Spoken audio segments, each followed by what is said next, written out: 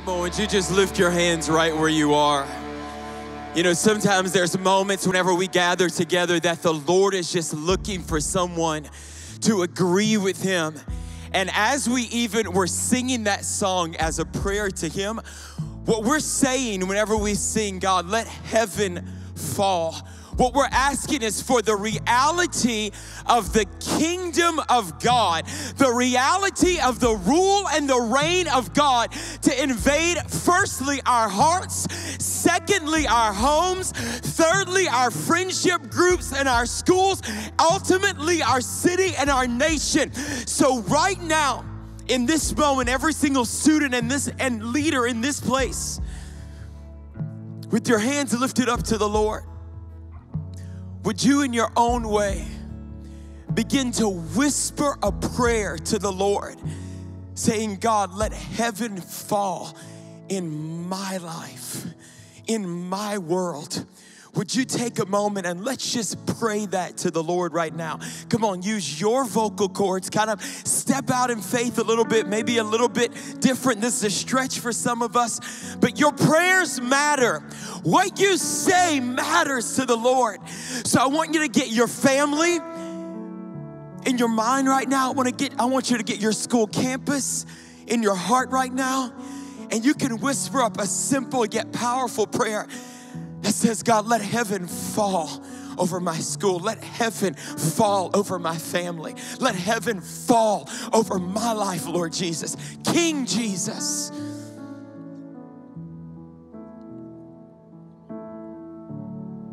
Father, we are asking that even over these two days, Lord, that what's happening in the hearts and lives of students and leaders, God, that there would be an overflow that spills over to the city, to the state, and ultimately to the region to make your name famous, to make your name known, to bring freedom and liberty to those who are in bondage, to bring the reality of Christ to this generation. Father, we thank you today. We love you today. In Jesus' mighty name we pray. And everybody said, Amen. Amen. Let's give the Lord a shout of praise. Come on. You can make your way back to your seats this afternoon. Look at somebody on your way back to your seats and say it's gonna be a great session. Come on, tell them with a little bit more enthusiasm. Say it's gonna be a great session. Because God is here his Spirit is here. His Word is alive, and you are alive. Come on, how many of you had a great time yesterday? How many of you are blessed last night and, and feel like God really spoke something to you? Come on. It's so good. Even your small groups, I know that there was engaging dialogue and talk that was taking place, which is so, um, which is so amazing. I want to stop and just pause and you know, today is a significant day. It's a special day. You get to be off from school, but it's really because of a, a willing vessel by the name of Martin Luther King Jr., who made some sacrificial decisions. Come on, let's give it up. It's a big deal because he made some sacrificial decisions. He, he lived his life in such a way that we are still talking about him today across the nations of the world. His, his name is being whispered in small groups, his name is being declared, but he lived for the purpose and for the cause of fulfilling the call of God, fulfilling the assignment that God had placed on his life to accomplish in his generation.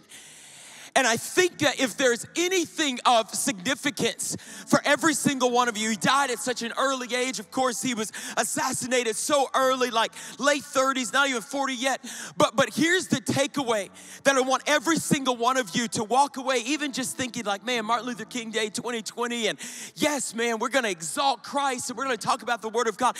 But I want you to make a fresh commitment in your own life that you would be as committed as Martin Luther King was to the call and to the assignment that God had entrusted to his life.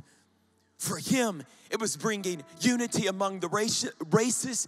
It was opposing those who would champion hatred over love and division and divisiveness over unity.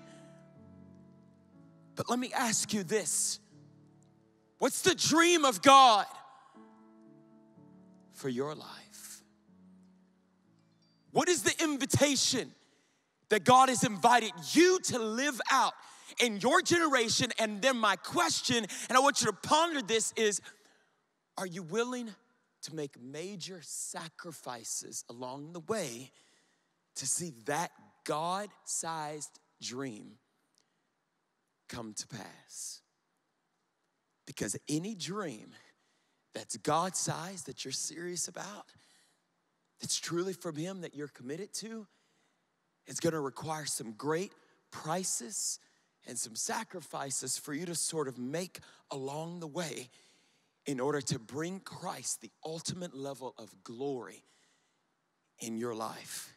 Does that make sense to everyone? Does that make sense to everyone? So we think about that. This, this evening, I um, I want to leave you guys with um, with a final message that is is so real to me. Just a couple months ago, I, I received a a phone call and uh, actually it was a text message first i was preaching down in texas and i and i received it uh, actually it was facebook messenger and then several text messages uh, about a student who was in my youth ministry some years ago so i was a full-time youth pastor for about 12 and a half years up to last year uh, just transition out of being a full-time youth pastor and still pastoring and mentoring and coaching uh, youth pastors and college pastors, but now more in a, in a traveling role all over. And um, th- this young man who's in my youth group, his name was, his name was Keegan. And, and Keegan was uh, an interesting guy. He was actually adopted by our family in our church. And um, it was kind of a journey. It was a it was a journey with with Keegan. Like he would come to the youth group, like maybe some of you, and and he would like be there, but half the time he wasn't like all the way there. You could tell, like, probably he went like kicking and stumping as his parents like made him come on Wednesday nights. And then some nights he would be sort of all in. But but but here's the deal about Keegan. If there was anything I ever needed Keegan to do, like, hey, Keegan, like, man, we need we need help. I need you to show up early. We got to stack some chairs, or we got to set up for an event, or you know, we're we're doing like a homeless outreach, something. Keegan was like, he was always there. Like early, like ready to go, okay? Running errands, serving, working, moving things, that, that was just his thing. Like that was just the way that God had wired him. And so he's pretty special to me. I know his mom and his dad. And so when I got this Facebook Messenger, like a, a deal popped up on my phone, I'm like, you know, what's going on? Because it said like, hey, have you heard about Keegan? And I'm like, Keegan, oh, Keegan, Keegan Shell? Like what, what happened? And and, and in the text message just said like he uh, he was found dead night before. He's only 20 years old, and we don't know all the circumstances that were surrounding his, you know, we just know this. And so at first I thought like maybe this is just incorrect information because this came from a cousin of his who used to kind of visit the youth group. Keegan would invite him, he would sort of bring him in. And so I'm like, I don't know how reliable this information is. And so I text some of my former youth uh, youth uh, leaders, and and they're like, oh yeah. And and come to find out, sure enough, he you know, he's no longer on the face of the earth, 20 years old. And it just got me thinking, it just, it, just reminded me of how fragile our, our lives are. You know, the word of God says that tomorrow is, is, is not promised. So, so, so do what you can for Christ today. Because we have a window of time. Turn to the person next to you and say, You have a window. Turn to the person on the other side of you and just say, you, You've got a window of time. And, and I want you guys from the front all the way to the back in the balcony, from the left side of the room all the way to the right. I want you to like really like for real lean in in this last sec in this last session together because I think there's something of a little bit of weight that God wants to speak to you this afternoon that I think sort of warrants your undivided attention. And so, so go it on and just put out of your mind everything from yesterday, everything is going home at uh, going on at home, what you got to do tomorrow. And I'm to ask you to be all the way here for the next 20 to 25 minutes or so. Just kind of be all in. Because I think there's some things that the uncreated God of the universe who wired you, who knit you together while you were in your mother's womb, and, and who loves you so much. I think that He has a couple things. Matter of fact, I don't think I know that He has a few things that He wants to speak to you and kind of just put in your hearts and put in your spirits for you to kind of pray about, talk about, and, and some truths that He wants you to apply to your life. If you'll agree to do that, will you just shout amen on the count of three? One, two, three. All right, so we're all in. Y'all gonna help me? Y'all gonna help me preach in this afternoon session too? Y'all gonna help a brother out or what? All right, I appreciate that. I appreciate that. I wanna go straight to the scripture this afternoon. Uh, I'm going to be in Matthew chapter 7. Matthew chapter 7 and I'll be reading verses 13 and 14. Matthew chapter 7, verses 13 and 14. Two, uh, uh, two verses, a short passage of scripture that we're gonna unpack some things out of that scripture. I'm gonna tell you a little bit about my life, uh, a little bit of a, a, deal that happened to me in college, and then we'll wrap this whole thing up with, uh, with you making some decisions and with you making some choices. I firmly believe in preaching and teaching that calls you to a place of action.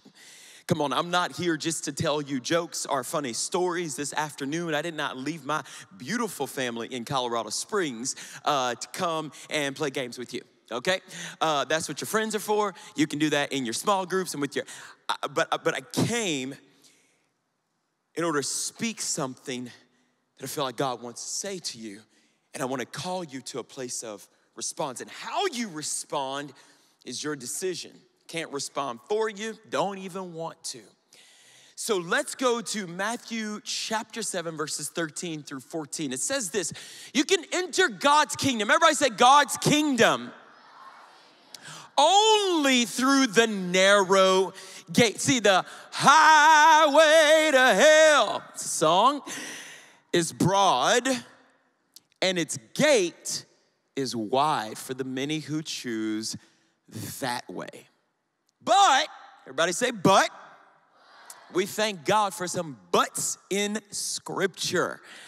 But the gateway to life is very narrow, and the road is difficult, and only a few ever find it. But the gateway to life it's a very narrow, it is very narrow, and the road is difficult, and only a few ever, ever find it. Um, let's pray real quick and then we'll jump in. Father, we just thank you so much for your voice that is real, that is significant, that is powerful. Father, it was your voice that transformed my life as a teenager and it has been your continued voice in my life that has brought me to this place. And it is your voice that will continue to take us where you are leading us. I thank you for your voice. And I thank you that it is your voice that's gonna come and change hearts and lives in this afternoon session of Winter Weekend 2020. In Jesus' mighty name we pray. And everybody said, Amen. Amen. Everybody say guardrails. That's the name of the message this afternoon guardrails. Guardrails. So if you're taking notes, and I would suggest that you do, come on, note takers are history makers. If you don't want to do anything with your life, don't take notes in church. Uh, if you want to go somewhere, if you want God to trust you with major things and words for people and destiny and vision and impacting your generation, start taking notes in church. That's just for free, uh, and uh, and we'll move on here. So so whenever you, how many of you are uh, have a driver's license and you drive? Come on, let me see your hand. Like, hey, it was a great day. Come on, just wave it at me. Like it's a big deal. Like you you took a driving test and and you are licensed to drive. Okay, cool. So so whenever you uh, whenever you learn about laws and, and learn how to drive, there there's something that that they they teach you about uh, called uh, warning signs that are on the road. Now, the, the purpose of warning signs is to alert you of something that is coming up. Each of them are for your safety and for you to be effective. They point to a very real concern. They, they point to a, a greater truth, a reality. And, in a similar way, there's also, besides warning signs like, like stop signs and caution signs. And uh, in Colorado, we have a ton of these because we drive through whenever we're going up to the mountains, we have these things called switchbacks. And so it's super helpful, you know, to know whenever there's like sharp curves and turns, especially whenever there's snow just about two and a half weeks ago, my mom and dad were up visiting from Louisiana. They spent about three weeks with us for Christmas and for the holidays. And one of the fun things we got to do, me and my dad, we went snowmobiling. So you have to drive up into the mountains, about a two and a half hour drive from where I live in Colorado Springs to go up to the mountain towns where there's tons of snow and all of that. And so we went snowmobiling, super fun. We're about 15 minutes away from the location that we're going snowmobiling, and I hit ice in the middle of the road. I'm driving an SUV. We start spinning out. We slam into a snow embankment. And thank God it was just snow, so the car wasn't damaged, anything. But there we are on the side of the road, and uh, we're like in like six feet of snow. Like my like the snow is all the way like up almost above to where the door handle is on my on my car. Now the good thing is there were some warning signs letting me know that there were some curbs and curves and all of that, but but I just didn't expect it for there to be ice in the center, so I'm going around a curve. Thank God that nobody else was coming because you're talking two lanes up and down this, this, this, winding mountain. I'm thankful for like warning signs. But in addition to warning signs, you have sometimes physical structures called guardrails, and they are there to help keep you uh, on the path, to keep you like from, from what is unsafe for you. So, so just by definition, a, a guardrail is a strong fence at the side of the road or in the middle of an expressway intended to reduce the risk of serious accidents. So, a fun fact they were actually created by the Civilian Conservation Corps in 1935 because so many accidents were happening. They wanted to reduce and prevent accidents from happening. So in 1935, the Civilian Conservation Corps came up with the idea of guardrails. Now, guardrails are primarily found in, in, in three different areas. They're on bridges because there's little room for mistake. Okay? Can you imagine driving with your mom or dad or those of you who drive across a bridge with literally nothing on your left or your right? And you're left only to the dependency of yourself to like, whoop, make sure, you know, I hope my power steering fluid ain't running low because, uh, you know, you can hit a, a pothole or something in the road and that wheel will turn and, you know, bye bye birdie, you know, is over. Um, so they're on bridges. Secondly, they, they are uh, where medians are. So, medians, whenever people are driving in opposite directions, you'll find guardrails in the middle of the road. Because listen to this the closer you are to people going in opposite directions than you, the more protection you need. We'll come back to that. Third place where guardrails are primarily found are on curves. Everybody say curves. And that's what I was talking to you about earlier. Whenever me and my dad were going snowmobiling, we are going around this curve. Uh, curves sort of protect you from, from unexpected roadside hazards. Now, here's the thing about a guardrail, you guys guardrails are not in dangerous areas, they're actually in safe zones, but they sort of carry this message hey, stay in front of me, and everything will go relatively well with you. Go beyond me, bump up against me, and you run a greater risk of unnecessary destruction or even worse, death. Now, if you, if you are if you are driving and you're sane, at no point do you ever have the thought, man, they need to take off these stupid guardrails off this bridge. I mean, we all just need to drive, take off the guardrails. You know what I'm saying? I want to live life, you know? Like, no sane person says that. Like, man, I wish this was even more dangerous. I want to risk my life. I want to kill people. I want to. No, nobody ever says that in the natural. No, no, no, nobody says that. But I'm wondering how we respond to the spiritual guardrails that Christ has placed in our lives are the Word of God encourage us to have in our lives. I want to talk to you this afternoon about guardrails and road signs, not as it relates to driving, but to your individual life. You see, because if we're honest, if we're, if we're all like painfully and, and, and truthfully honest, we can all admit that we have hit some areas of purity pitfalls. We have ran over some relational roadblocks. We've, we've crossed over the line of lying. We've crashed into the ditch of depression or despair. And some of us have went clear off the bridge into a river of regret are smashed against the sign of sin. You guys get the idea. I'm just saying that for some of us, most of these areas could have been avoided. Now, the past is the past. We want to focus on the future. And if you pay attention to the warning signs and with good guardrails in your life, listen to me well, young people. Life is hard enough as it is. You don't need to add in uh, like additives of like complication. You see what I'm saying? Like, like your teenage years, there's gonna be enough crises that you're gonna walk through. Your 20s, there's gonna be, there's gonna be enough drama to take place. You don't need to manufacture drama. You don't need to create scenarios where it's like, oh man, I wanna break my heart like even more than what I need to. I wanna, I wanna, I wanna walk through condemnation for a couple years and then kind of come back to the Lord and get. No, no, no, no, no. Life in and of itself is challenging enough because as much as we want to pull heaven down to earth, and there is a reality, and, and there is a certain level uh, of reality of heaven here on earth because we have Jesus living on the inside of us. Make no mistake, this place is not heaven. We live in a broken world. So bad things are gonna happen. And this will help your theological understanding as well.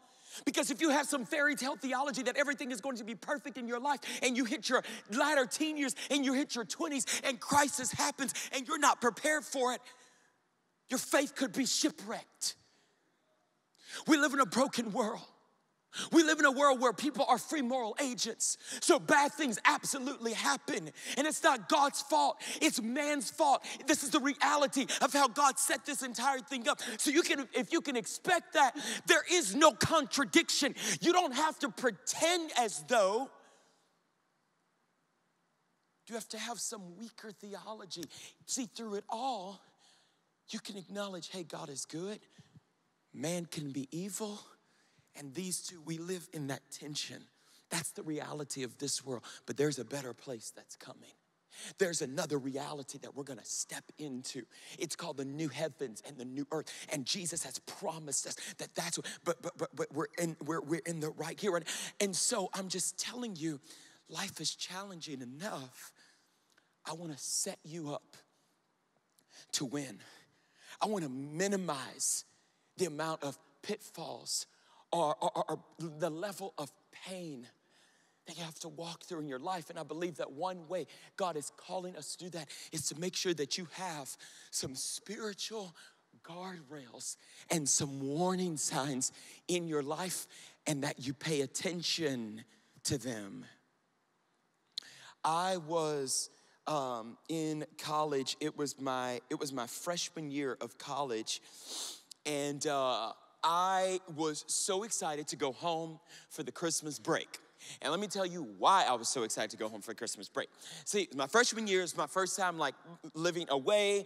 And, and listen, I had a vehicle my senior year of college, but my parents were like, man, we want to teach you some responsibility. We want you to just focus on your schoolwork. We want to give you something to work toward. So leave that car home and we're gonna drop you off to college about two and a half hours away. And I'm like, ah, oh, mom and dad, and I threw a tantrum and all this stuff. But then I was like, okay, cool, like I'll get over it, we'll make it work. And so uh, focus, work hard. So I came home for the Thanksgiving break, which is about a week or so. So I'm home and I'm like, listen, mom and dad, I only have like two and a half, three weeks of school. Why don't you let me take my car back to school? It's just for two or three weeks, and then I'll drive it back Christmas break. That way you don't have to drive all the way to here. I mean, I don't want to inconvenience you. You know what I'm saying? So there's no need for you to drive and like, but and then I have to drive back like in two weeks. So I'll just drive my car and make it simple for everybody.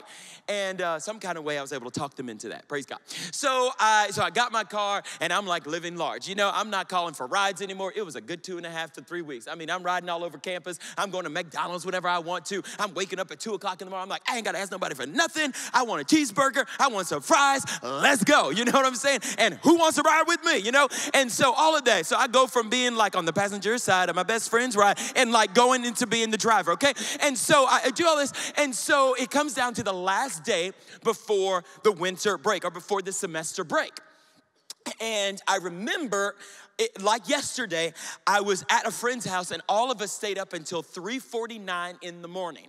3:49, I was studying for this math final that I had. The final was at 8 a.m., so we woke up at like about 7, 7:10. I pack up all my things. Or no, I drive to school, take the final. Took about an hour. Packed up my dorm room because I was at a friend's house. Packed up my dorm room. Stopped back by the house where all my friends were because they didn't have early finals. I was the only one that had to get up that early, but whatever. And so I go tell them bye. All right, see y'all in four weeks. I'm driving home. Now I was in a hurry to get home because listen. Um, I just thought it was the coolest thing to be able to work like in retail over Christmas because your boy likes to shop, okay? And so if you're working at the nice stores, then you get all the discounts, all right? And, and so I'm just like, all right, so I have an interview set up as soon as I get home, but I have a short window of time to get home and make it to my interview so I can live my best life and work throughout the Christmas break, have a little change, you know what I'm saying? And then go shopping, okay? So all, I have all these plans. Uh, uh, I got about three and a half hours of sleep. I pack up my car. I tell my friends goodbye. I get into my car and I begin to drive down the road. And whenever I was about a block away, I just have this idea like, I'm just supposed to turn around and like ask one of my friends to pray for me which I mean, I can pray for myself, but I, I, I, can't explain. I just had this. So I turn back around, I go back to the house. I uh, tell my, I wake up my roommate, I'm like, hey, I just feel like you're supposed to pray for me. He was one of my accountability bros. He was like one of my main prayer guys. And I'm like, I just want you to pray for me. So he just prays a quick prayer God protect Brandon, God cover him, let him have a great Christmas break, whatever, you know. So get in my car, drive, drive, drive. I'm driving down the road, I start get, to get tired. Now, those of you who have your driver's license, what is one thing that they tell you in driver's school to do if you start feeling sleepy on the road? Shout it out to me. So they say pull over, that's one thing. What's something else? Sorry? Roll down the windows. Yep. So roll down your windows like there's air, like that's supposed to wake you up. What else? Stop to a gas station, get some coffee. Right. Okay, I didn't have time to do all of that because remember, I'm trying to live my best life and get home, and you know what I'm saying? Like I'm trying to get to my job interview, you know? And so, so I roll down the window, I turn up the music. Okay, I even phone a friend and put them on speakerphone. And that time it was like these little flip phones. Okay, whatever. It's a totally different generation, but it was really innovative at that point because you could have a flip phone instead of like these little like you know, straight phones like the Nokia. That's what we started off with. So I have a flip phone. But the cool thing about the flip phone that I would do is I would put it on speakerphone. I would clip it onto my shirt. Hey, and this was before, you know, like my AirPods that I have now. It was like, you know what I'm saying? Like, you know, necessity is the mother of all invention. And so I would clip it onto my shirt and it was like, hey, like I can talk, you know, it was great. And so I started talking to somebody, but then I ran out of cell reception because I'm driving through the backwoods in the sticks of Louisiana. I'm 20 minutes away from my hometown. 20 minutes outside of Lake Charles, Louisiana, on the other side of a small little town called Moss Bluff. And I start dozing. I mean, it's bad. It happened so quickly. I literally fall asleep. I'm in a red SUV and I hit the rumble strips. You know what I'm saying? On the side of the road, it's like, and in a day, like I'm, I'm in a deep sleep too. I mean, I'm just like, mm, and I wake up and I'm like, so I and so I'm on a, a, like an old like highway road. So there's like a whole ditch, like a whole ditch on both sides. Okay, uh, trees. I mean the whole nine yards. So I'm like, I ain't trying to slam into a tree. You know what I'm saying? So so I, it's like, so I, I turn left. Okay, I get in the other lane and there's an 18 wheeler coming, and I'm like, oh, you know, oh, so so then I overcorrect turn hard to the right, so I'm back in my lane, but it's too much. And SUV's already top heavy. I have all of my college stuff, all of my dorm stuff. So I proceed to go into the ditch. Bam, I roll over once. Bam, roll over twice. Bam, and then another half roll. So I'm upside down at this time. I'm in the ditch, in the mud, in the water, just missed this cold thing called curve. And I'm like between two massive oak trees. I wake up, I'm upside down I have two t shirts on, but this t shirt has a hole in it where the seatbelt, upon impact, it actually burned a hole through both of my shirts. It looked like somebody like took, you know, like you take a, a, cigarette lighter or something, like, like a lighter, and you burn something and it's all burned. That's what my shirt looked like. I mean, it's crazy.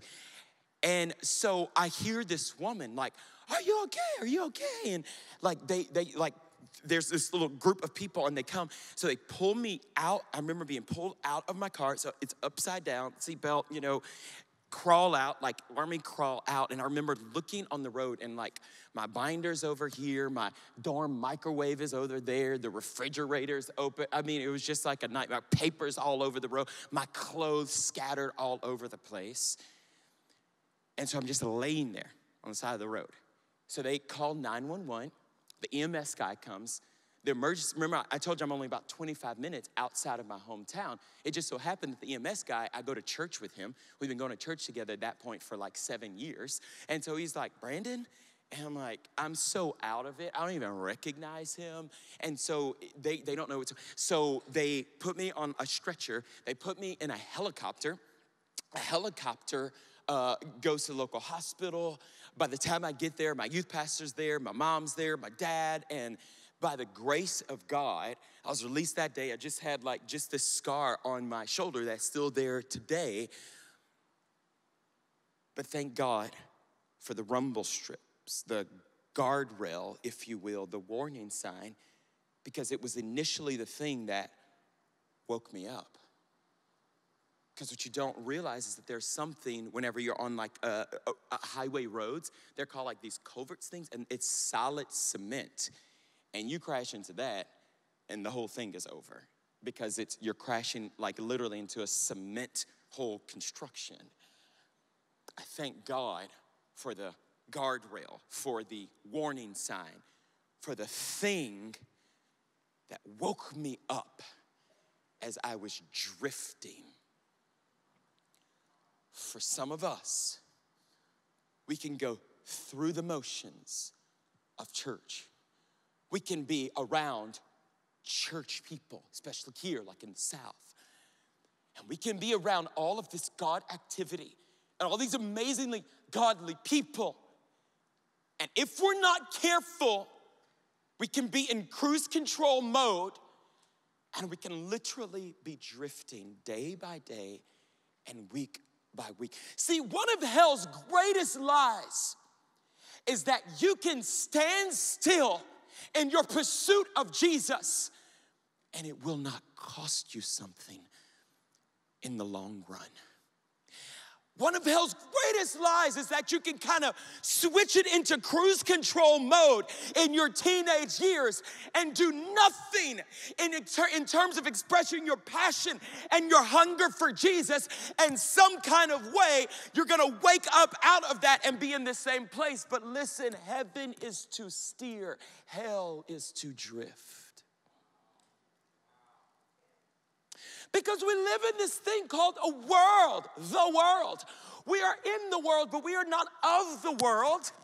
But what happens is the world system, that means the non Christ like way of living your life, of talking, of walking, of speaking, the way that you think, everything. There is this drawing, there is this pulling, there is this enticing that the enemy of your soul has been trying to invade your heart with. And if you are not careful, you can even be in the middle of church, you can be in the middle of Christian activities, and this entire time you have been drifting. So you may lift your hand and worship, but you're drifting. But God loves you so much that if you'll cooperate with Him, He'll have a guardrail that you'll bump up against. And you'll realize, how did I get over here? Like I'm meant to be over there. I can't tell you the amount of, of young people who never planned to be over here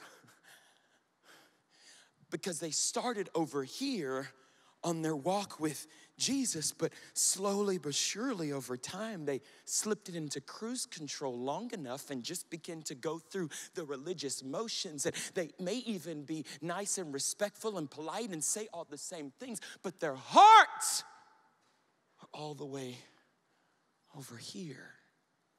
Does that make sense? As I was thinking about Keegan, whenever I got that news, I just thought, oh God, I pray that the word that was seeded into him, I haven't talked to him in several years, but God, I pray that the word that was seeded into him function as some guardrails, that he made wise and he made smart decisions, but it just reminded me yes, tomorrow's not promised. You got to live today. You got to live today on purpose, with purpose, knowing that God has you here for a reason. That God has you here to do something that no one else on the face of the planet, He didn't call anybody else to do exactly what He's called you to do. And we hear that a lot, and we treat it like this, this trite little phrase in Christian circles, but it is 100% absolutely true that God has something uniquely designed, uniquely planned out, uniquely written, and uniquely in store for uniquely you. You are not an accident. You didn't just show up in South Carolina. You didn't you don't just happen to go to the school that you are attending. You don't just happen to have the people in your life. No, no, no, no, no. I believe that everything that happens in our lives, God can use it for his glory and for our good. That means it is our responsibility to say, God, what am I here for? God, what am I in this circle for? God, why did you give me these gifts? Why do I love baseball so much? Why do I like this particular video game so much? Why am I drawn to this particular type of person? And if you will live your life that way, you guys, it will even function as a guardrail against spiritual apathy. Does this make sense to anybody this afternoon? Jesus made this so clear whenever he said there's a there's a wide way that leads to destruction, but there's there's a narrow road that leads to leads to life. I want to remind you and encourage you to live your life with some spiritual guardrails that you have in place. See, Ephesians is where I want to go next. Ephesians. And, and, listen, if you're taking notes again, by, by, by guardrails, this is what I mean by here's how you know if you have spiritual guardrails or not. Because maybe you're confused. You're like, well, Pastor Brandon, I just really don't know. Like, what, Pastor? I'm making it real easy. If you can tell me two to three spiritual disciplines and then convictions by which you've decided to live your life, that's a good start.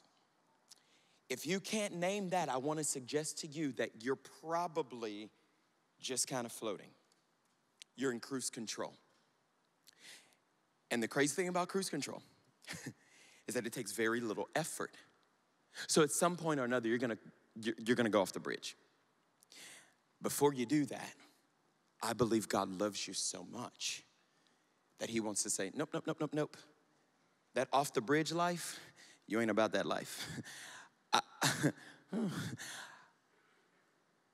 I've called you to drive, I've called you to lead, I've called you to make a difference, I've called you to live a life that says, you know, it's it starts with me. If anybody in my youth group is gonna live with conviction, is gonna live with some personal standards, some, some personal convictions, gonna live with, is gonna be this guy right here. It's gonna be this girl right here. And so, so spiritual discipline, spiritual boundaries, if you will, if you can't tell me one boundary you have, if you're already like in the dating season and that's kind of you and your parents are cool with it and your leaders are cool with it and you're doing that, if you can't articulate like two to three, hey, like these are boundaries that we have, like these are things that I just do not do, then you have no guardrails. And it's only a matter of time before you slam into something that you never meant to slam into. And for some of you, you're already there. And Christ the Redeemer, Christ the Healer, Christ the great EMT has shown up on the scene and said, I want to heal you, I want to redeem you, and I want to restore you, but I want to give you some instruction so that we don't have to go this way again. Because as much as it has broken your heart, it's broken mine. Does that make sense to somebody this afternoon? So, Ephesians is where we're gonna go and kind of talk a little bit about guardrails, and then we'll wrap this up. Ephesians chapter 5, verses 15 through 18. Let me give you the background. Ephesians, this was a very immoral culture. The cultural norm was sexual immorality, living lives that had literally no restraints, no boundaries, no guardrails. That was the norm. So, whenever Paul writes to the Ephesian church located in the city of Ephesus, he says this Be careful how you live. Don't live like fools. Everybody say, fools. Don't live like fools, but like those who are wise. Now, if I ask you, hey, you wanna be a fool? if I ask you just like that, nobody says, oh, yeah, Pastor Brandon, I wanna live a foolish life. I wanna be known as the foolish person whoever walked the face of the planet, I would have been known as the most foolish person in my family. Nobody says that. But here's what Paul said don't live like fools, but like those who are wise. Come on, God's called you to be wise. Verse 16 says, Make the most of every opportunity in these evil days.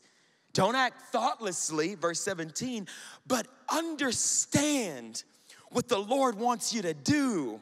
Verse 18, don't be drunk with wine because that'll ruin your life.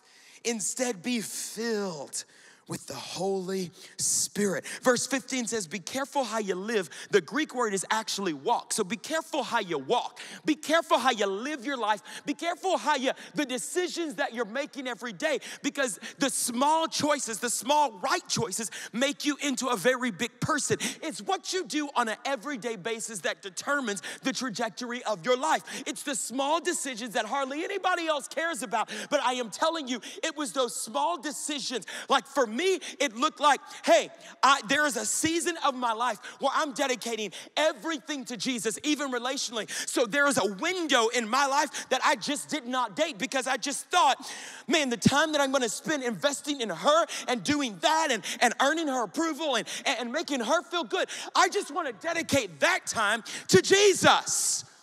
Nobody made me do it. Nobody required that of me. It was just a personal standard. It was one of my guardrails in high school, and it trickled on into part of my college experience. But as I look back, I have no regrets. It was a guardrail for me. Where are your guardrails, you guys? Do you have any guardrails in your life that help to kind of make sure and keep you. God, I'm ta- guardrails. Guardrails are, are, are godly friends who can actually tell you the truth. And you don't spit in their face and defriend them and unfollow them on Instagram because they told you the truth about yourself. Guardrails are small group leaders in your life. How do you treat your guardrails that God has sent to you in the form of a, a small group leader or a youth pastor? Or a campus pastor or a mentor in your life. It can be a mom, it can be a dad, it can be somebody else's mom or dad. How do you treat your guardrails, you guys? Do you have any guardrails? Here's the thing about guardrails nobody can force them upon you. Nobody can be like, all right, I'm gonna be a guardrail in your life. The crazy thing is, God's giving you the freedom and the wisdom to say, hey, choose ye this day. You're gonna live your life with a guardrail, multiple guardrails, or, or nah? yeah, nah.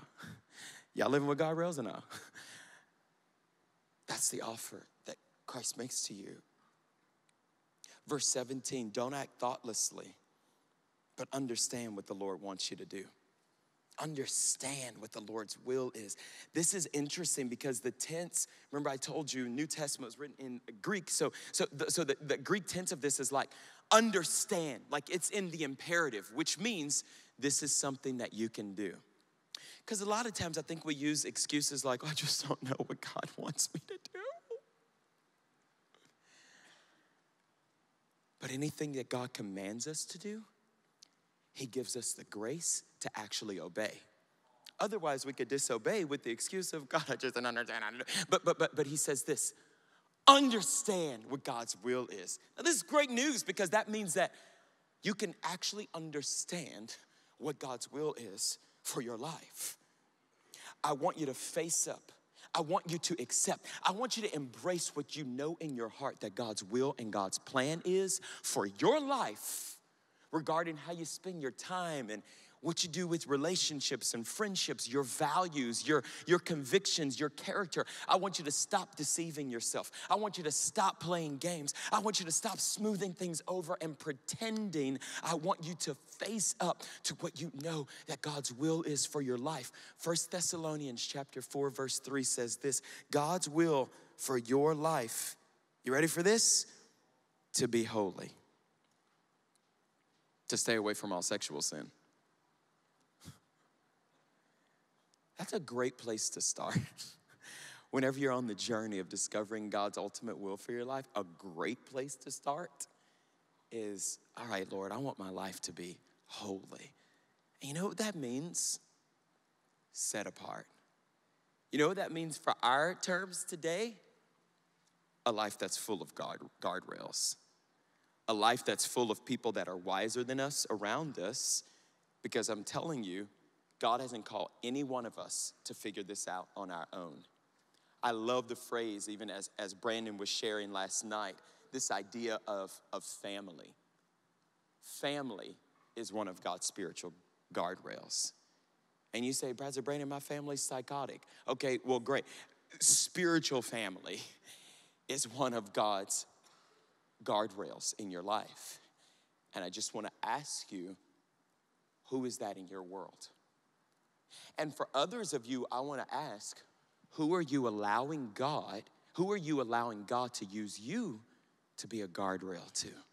Because it's not just about you and me and my, no, no, no, no, no. It's, hey, I want to have a real conversation with somebody, even if it's over text, and say, hey, I feel like God's called me to be one of the guardrails in your life. I don't think I'm better than you. I don't think I'm smarter or wiser than you. I just want to obey God. I just want to love you the way that Christ has called me to love you as my friend. And I want to be a guardrail in your life. And would you be a guardrail to me? Like whenever you see me just wilding out at school, or whenever you see me treat somebody poorly, or whenever you hear me gossip, or whenever you see me doing whatever, I want you to be a guardrail because I want to be wise. See, here's, here's the thing about this afternoon's word it's so simple, it can be overlooked and minimized, and you're like, eh, eh, eh, we'll just go on. But I believe it's simple obedience that God is looking for. It's almost too simple to be true. But I believe that there are several of you this afternoon who would say, it starts with me. I'm gonna start obeying the simple things that God has called me to, and I'm just gonna see how that works out for me. I'll tell you this, it's gonna go well with you. My challenge to you, to some of you in this room this afternoon, is written on the screen. Stop flirting with disaster. in your life. Sin sucks. It sucks the life out of you. It sucks the joy out of you. It sucks the desire to live for God out of you. It sucks purpose out of you. It sucks love out of you. It sucks the reality of who God has called you to be and your awareness of that. It'll take it right out of you because you'll have a hard time believing that you really are who God says you are. Stop flirting with disaster. Some of you, I sense it's so strong that the Holy Spirit would say, You have literally been going over the rumble strips in terms of some of your relationships, some of the friendships that God has sent, sent to you, some of the decisions that you're making. Your life has constantly sounded like this spiritually.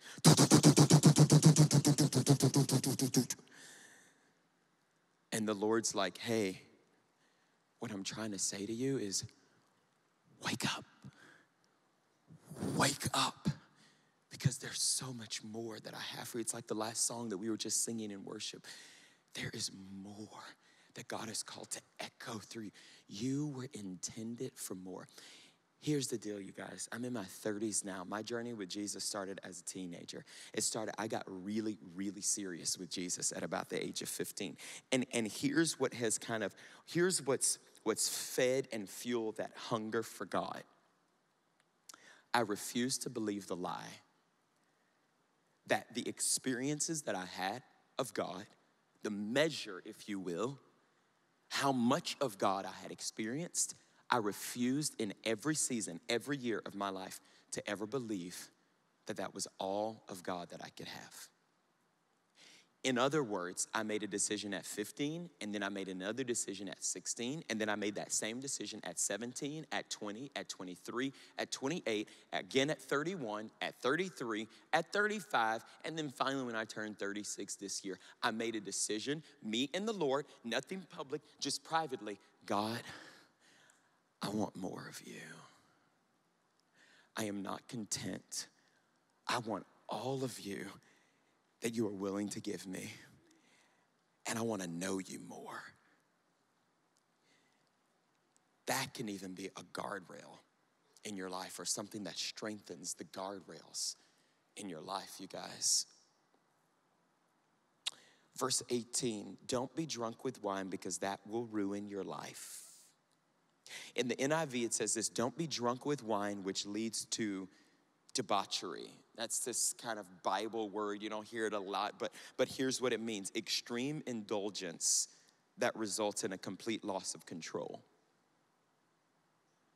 Are you engaging in anything anything. Like it can be video games, it can be Netflix. You just get lost into like hours have gone by. No, no, no, no, no, no, no. It, it, can be social networking, Instagram, it can be Snapchat where you are just constantly thinking about. That's the last thing you think about whenever you go to bed at night. It's the first thing you think about whenever you wake up in the morning. That's debauchery. That's an over ex- extreme indulgence that results in a complete loss of control. Is it gossip? Is it talking about someone? Is it just being so like indulged? In like somebody else's life and you're struggling with the spirit of comparison. Eh, you see, see, see, God is against anything that will lead to a loss of control in our lives. But I love this about that same verse. Don't be drunk with wine, or new, eh, new international version, which says, don't be drunk with wine, which is debauchery. Don't, don't give yourself into an extreme indulgence as something that can control you. But, but be filled with the Spirit of God. See, there's no limitation guardrail needed in your pursuit of God. You can never have too much of Him. You can never read your Bible enough.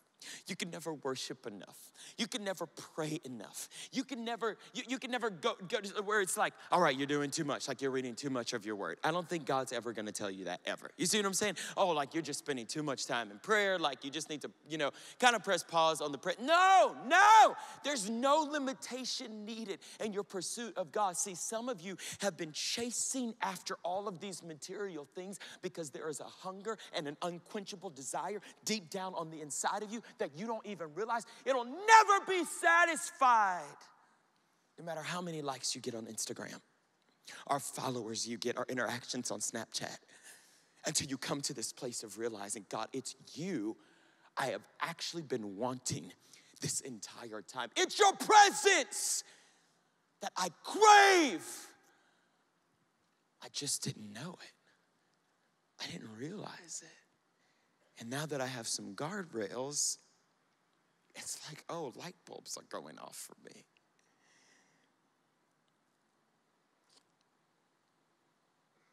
I need you. I want you. God desires for you to give yourself fully to the Lord. See, the Holy Spirit of God, He longs to be the primary influencer on your life. See, it's so foolish, you guys, to think that you can say whatever it is that you want to say, that you can do whatever you want to do, that you can treat people poorly, that you can do all of that stuff and, and tell lies to yourself like, oh, it's no big deal. God's going to protect me. See, sometimes God will take you through seasons in your life where people will approach you and say, hey, why, why can't you, why can't you, you fill in the blank? Why can't you date? Why can't you, why can't you watch this movie? Why, why can't you listen to this music? And, and, and here's the response it's not that I can't, I just, I won't. Let's get really honest for a moment. What are the lyrics to some of the songs that is the primary music that you listen to on your Spotify or your iTunes account? I know, dead silence. Preach, Pastor Brandon. Come on, that's good. That's a good word, Pastor Brandon. Thank you so much. I mean, I agree too. Thank you so much, Brandon. I appreciate that. What are the lyrics? Because whatever you are listening to with your ears, it has an open thoroughfare, an open highway to your heart. And what's in your heart will come out in your behavior eventually. What's the content of the books that you primarily like to read if you're a if you're, if, if you're avid reader what's the content of, of the movies that you're consistently watching or the tv shows or the netflix shows i'm just asking because whenever you don't have guardrails, you don't know any better. But sometimes the Lord will send guardrails in the form of a word from God in the middle of a session to say, I love you way too much for to keep for you to keep driving like this. Like if this is the highway, if you're this is the bridge and that's the ditch, where you're just like, like teeter tottering. And he's like, I just love you too much. I didn't call you to live over here. I call you to live right in the middle of that highway so you can go fast and furious for me, so you can win souls for me, so you can spread my love and my peace, so you can actually make an impact on your generation. You'll never get there without guardrails, you guys. And I'm speaking from the Word of God, but also my personal experience. See, whenever you have guardrails in your life, I want the worship team to come. Whenever you have guardrails in your, in your life, you're not saying you can't. You're saying, no, I just, I won't. Like, I, I don't do those things. Whenever your friends come to tempt you to do something that you know is a violation of God's word, deep down inside, you hear this voice saying, mm, Don't do it. And your response is, I'm not saying you can't. I'm not saying I can't. I'm just saying I won't. That's a guardrail for me. I'm just not going there. I'm not doing that. There are better things. You see what I'm saying? A guardrail can be, you know what? I'm not, I'm not missing small group this week. I, I could, but I won't. I'm not missing. I am not. I am not showing up late and missing worship. I'm not saying I can't. I'm saying I won't. I'm not going to that event this weekend because I already know what's going to be there and who's going to be there, and that's going to tempt me. And I know the past and the struggles that I had. I'm not saying that I can't. I'm saying I, I won't. I made a vow to Jesus, and I actually intend to keep it this year. I'm not saying I can't watch that. I know it's a cool show and everybody's talking about it, or I'm not saying I can't, you guys. Do you know how many conversations I've had just like that? I'm not making up illustrations, I'm talking about my life. Like where I have to look at Christian friends and be like, I'm not saying you can't. I'm not even saying I can't. Brandon, you're being too extreme. I have a destiny on my life. Brandon, like, what's the big deal? Like, it's, I mean, uh, everybody else is doing it. I'm not saying I can't. I'm just saying that I won't because I've chosen to live my life with guardrails. I have spiritual goals in place. I know that God has called me to live at a higher level. I know that God has called me to win the lost. I know that God has called me to be an example in speech and in purity and in the way that I live my life. So I'm not saying that I can't. I'm saying that I won't. Because He has a calling on my life. This message isn't for everybody in this room. I could pretend like it was. I'm speaking to those who know you have a calling on your life. And the Lord is reminding you of that calling because several of you have forgotten. Several of you have fallen asleep at the wheel. And the Holy Spirit of the living God is saying, Wake up! Because you've got a window. Wake up! Because there are people that I am sending to you that I want you to use your story. I want to use your voice. I want to use your mouth. I want to use your example. I want to use your convictions to touch them. I want to use your love to reach them where others could not reach them. I am calling you to reach them. I'm calling you to reach your family. I'm calling you to be the first in your family, maybe for some of you who have really sold out and gone all out for Christ at an early age. See, nobody who's in their 20s who's actually serving Jesus or their 30s, 40s, or 50s say, Gosh, I wish I would have waited later to serve God. Nobody. Go and ask them. If you don't believe me, go and ask them. Ask anybody over 20 who truly has a vibrant relationship with Jesus now and, and, ask them when they started serving God and then ask them this question Do you wish you would have waited a little bit longer? I promise you, every single one will say, I wish I knew at 14 what I now know at 25. Come on, somebody, and preach with me every single one of them will say, Oh God, I, I wish I would have known at 18 what I'm now learning about God and God's word at 30. Don't let that be you. That doesn't have to be you. God's got better in store for you because his love for you is so strong. You can enter God's kingdom only through the narrow gate. The highway to hell is broad, and its gate is wide for the many who choose that way. But the gateway to life, it's very narrow, and the road is difficult, and only a few ever find it. Green light. The world is open I can go anywhere I want. I pray, God, put up roadblocks where I shouldn't go. That should be all I need. So I drive aimlessly. I can go where I please. Why can't I just take the scenic route to my destiny? I used to stay on the straight and narrow, but what is wrong with a little detour? Those lights flashing, slow down, were judging me. So I yelled, Get out of my face! And I ran them over. Yellow light. Slow down. Everything feels a bit out of control. So I tap the brakes yet. Every time I do, I don't seem to slow down as quickly, skidding a little further every time. The grinding crunch as I make contact contact with the guardrail, it used to jolt me awake. Now I've gotten used to the sound. In fact, why are these barriers here anyway?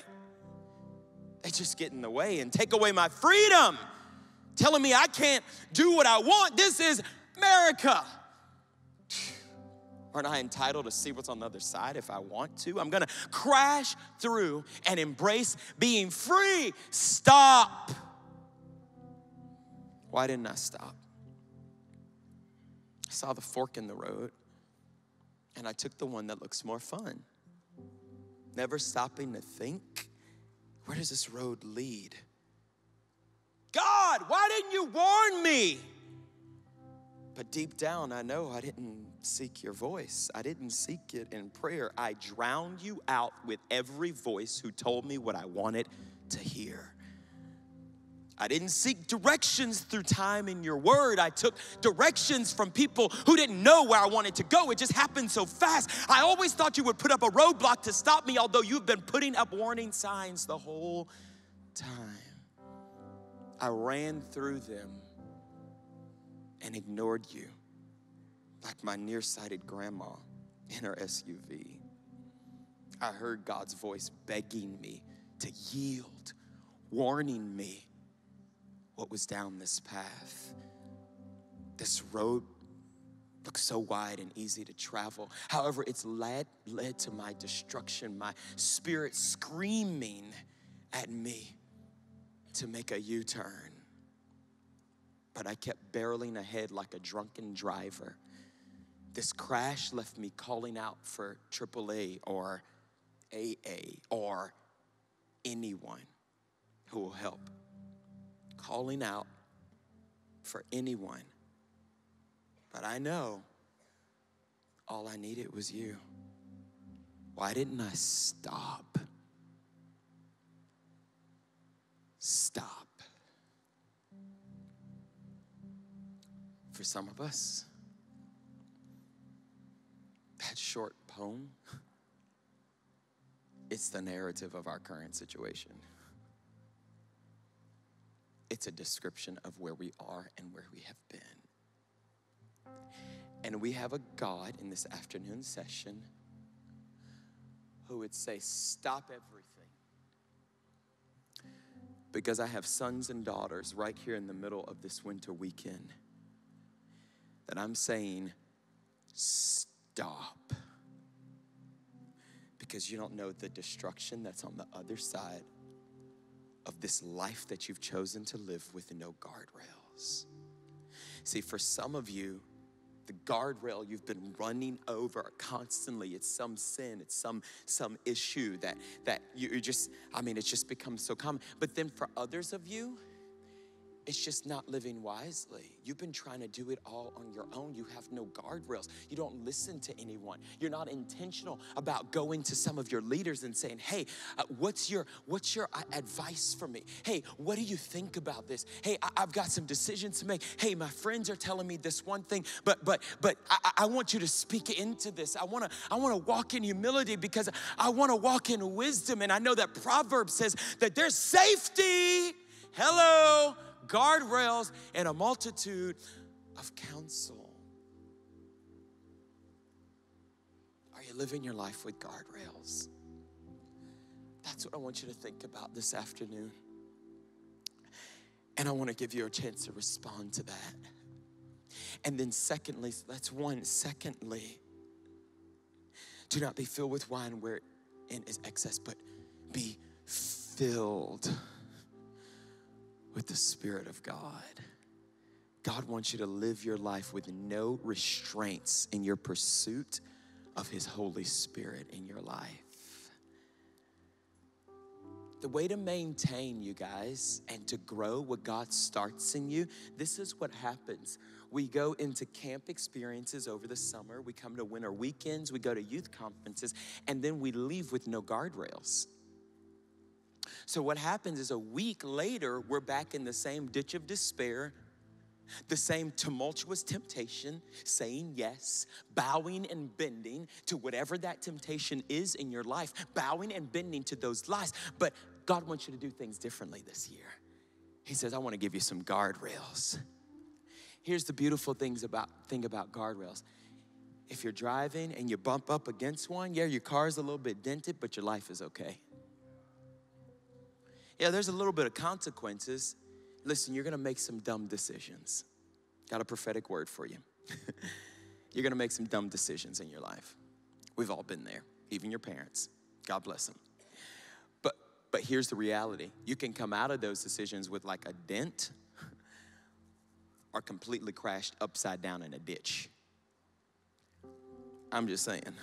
I picked the dent. Dents ain't that much. Those insurance premiums will go up sometimes, but you know, you know, maybe you can work it off and not even file the claim, okay? God wants you to live wise, you guys. It starts with me. Say, I'm gonna be a young person who lives with some guardrails, and I'm gonna be a model for those around me. I want you to stand up to you this afternoon. I want you to stand up to your feet. I want every head bow, every eye closed this, this afternoon. And I want to give you an opportunity to respond. I want to pray with you. And I believe that God is going to, He's going to give you something on the inside. As you say yes to Him, He's going to give you some ideas of some guardrails. For those of you who've been crashing over the guardrails in your life, He's going to say, hey, hey, hey, hey, hey, hey. Let's get out of that position and let's come to this position. I want you to be a young person of wisdom. That's what God's destiny is for your life. Every head bow, every eye closed this afternoon. If you're here this afternoon and you know, you know what? This word is for me. And I have been without guardrails for far too long spiritual guardrails. And I am really serious about living with guardrails about living my life that way because I long to grow in wisdom. I don't want to be foolish. If that's you, I want you to shoot your hand up really high very quickly on the count of three. One, two, three. Yeah. Yeah. That's good. You can put your hand down. Here's the here's the prayer. I want you to pray and just I want you to repeat after me and I'll do a secondary element. We'll worship together. I want you pray this prayer. Just say, Jesus, I repent for living foolishly. I receive your forgiveness. You've called me to be wise. Wisdom is not an age, wisdom is revelation. Thank you for revealing to my heart today my lack of guardrails. Now, Spirit of God, speak to me now what guardrails are missing in my life. Now, expect for Him to speak. Close your eyes. He's a talking Jesus.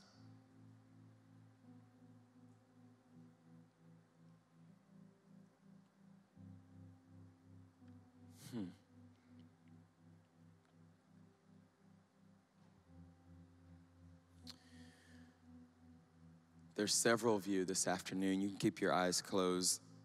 I just keep hearing the voice of the Lord say that He has well established you with guardrails in the form of your parents, and there has been this rebellious, like, I don't want to do what you say, this like immature it was like this nastiness. That's what I got to say it how I feel it. And the Lord says, I want you to repent because you don't even know what I'm trying to protect you from. If that's you, I want you to shoot up your hand on the count of three because God's going to break that right off of you. One, two, three. That's you. Yeah. That's good. This is called a ding against the guardrail. Your next step would have been a ditch.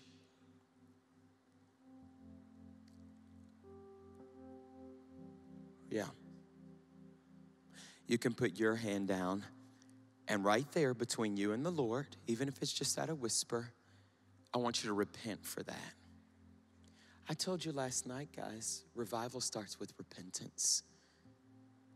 You can't walk in this rebellious spirit and expect for revival to flow through your little hands. Doesn't happen that way. So just repent. You don't have to drag yourself with sackcloth and ashes. Just say, Lord, I'm sorry, forgive me. I'm not going to do that anymore. I'm going to embrace the guardrail that you have given me and my parents, my mom and my dad. I thank you for them. I bless them today. I honor them. I see them as a gift in my life in Jesus' name. It's phrases like that. And just like that, the blood of Jesus touches your heart, it's over, it's done with. There's this thing called making it right, where the Holy Spirit will prompt you. Some of you need to have a conversation with your mom or dad. Some of you need to send them a text message right now and say, I'm so sorry. Thank you for the gift that you are in my life. If that's you, don't worry. The Holy Spirit will prompt it right in your heart. Like your heart's beating fast, you have that weird kind of feeling in your stomach. That's the Holy Spirit saying, Yep, I'm asking you to do that. You don't have to, but I would love for you to. That's Him, you guys. You're hearing His voice. He's just that close and intimate with you. He cares about every detail of your life. Every head bow, every eye closed. There are a couple others of you, you are in a relationship. Some of you, it is a dating relationship. Some of you, it's friendships, and it's a disaster.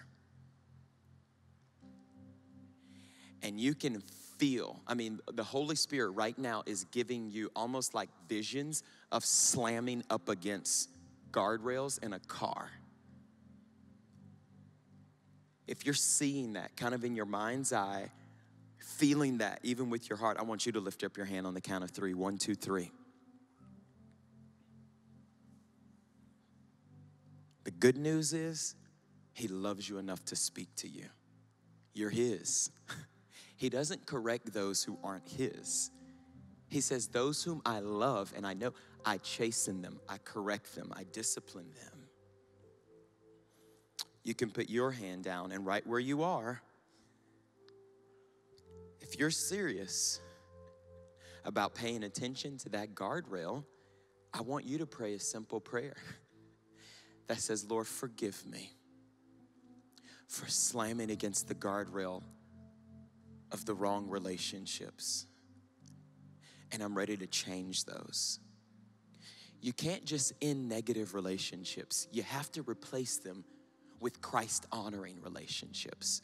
So, what you're really praying is and saying, Lord, I'm committed to forming some godly friendships and relationships. I'm gonna do a better job of that this year, like never before. Like before I leave conference, like before the day is over.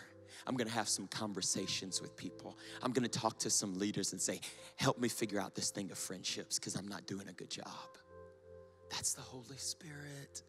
He loves you.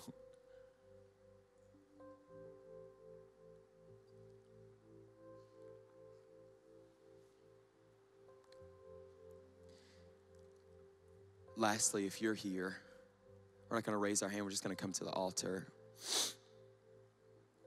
And say, I really, want to encounter the Holy Spirit in my personal life in a, in a stronger way. I want to give, I want to yield myself more to, to the Spirit of Jesus like never before.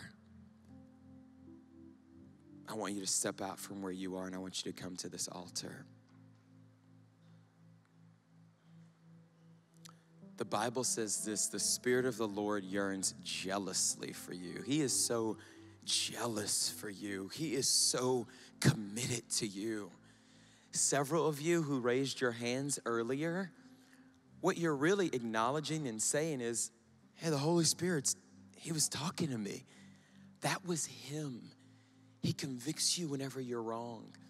He encourages you whenever you are like just you lack courage, you lack direction, you lack what He gives you everything you need to be the Christ honoring teenager and young person that God has called you to be. And you would do well to begin listening to His voice in your life saying, Spirit of God, fill me. Spirit of God, lead me. Spirit of God, I yield to you like never before.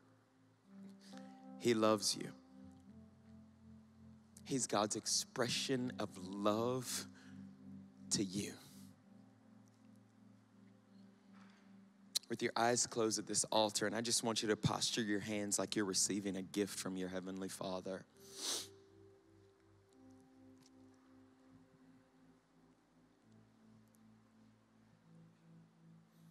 Holy Spirit, I ask that you just begin to encounter every hungry young person at this altar this afternoon from the left to the right. I pray right now in Jesus' name that you begin overwhelming them with the presence and the power of who you are in their lives.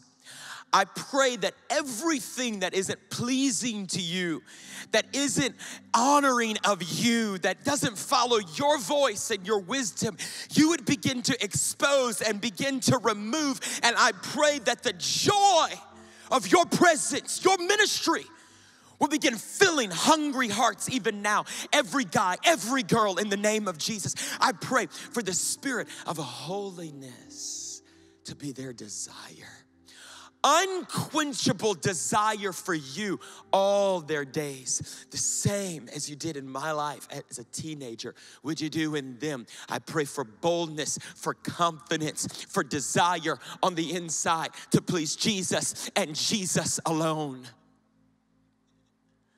I pray for a God confidence that can only come from who you are. I say, fill every hungry heart God, in those who feel like they have nothing to offer, I pray that you tell them again who they are, the high value that they carry. Those struggling with self image, those struggling with actually believing what you say about them, I break the lies of the enemy by the power of the Holy Spirit right now.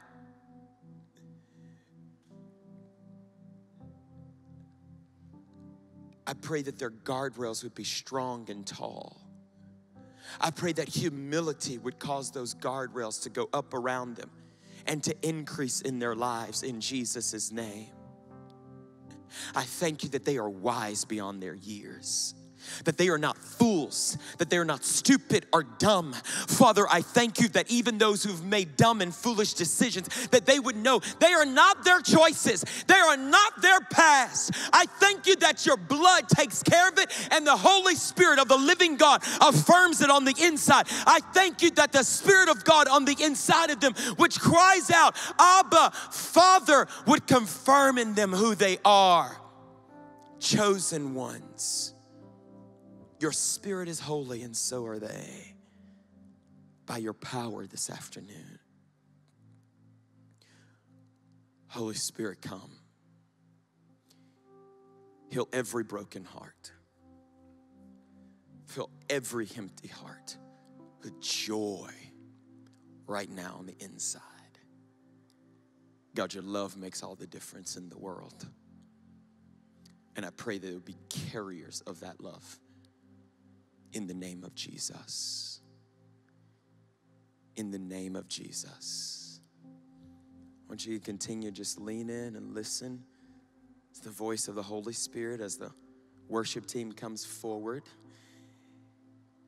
And we begin to worship together.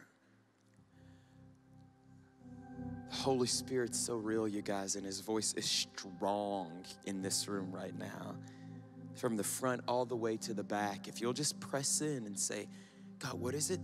What is it that you're saying to me? What is it that you're, what else are you speaking to me? I want you to make a fresh commitment to obey Him, truly obey Him, fully obey Him. For some of you, there's some decisions that God is calling you to make, and it feels so scary and it feels so sacrificial. But here's what the Lord wants to remind you of there is no sacrifice. There is nothing that you've ever given up or that He'll ever ask you to do that He won't give back to you something far greater. But He's got to free up your hands. He's just got to free up your hands. Father, I thank you that your anointing even right now in the name of Jesus, as we empty our hands, you're filling us with greater. You are filling us with more. Some of you have been so selfish, and the Lord's saying, just take your eyes off of you for a moment. And I'm gonna make you aware of some people around you in your life that actually need you. You're so busy thinking what you need, what you want, what you don't have and the Lord's saying there are multitudes around you, and there are a handful specifically that He wants to use your hands to bless. He wants to use your hands to touch. You are that powerful. You are that important. You are that significant. He loves you.